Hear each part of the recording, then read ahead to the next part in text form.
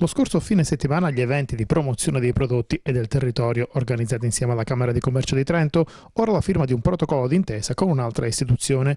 Giornate di grande fermento per la Camera di Commercio di Cosenza che ha siglato un accordo con l'INPS per stabilire un rapporto di reciproca collaborazione volto a condividere tutti i dati e le informazioni riguardanti le imprese, tratte sia dalla banca dati del registro imprese che dalla banca dati detenuta dall'Istituto Nazionale di Previdenza Sociale, anche a fini statistici.